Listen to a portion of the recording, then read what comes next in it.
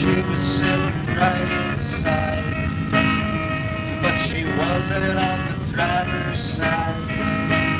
In fact, she was riding the passenger, and there was a strange fellow at the wheel with a smile on his face. In fact, I never did see.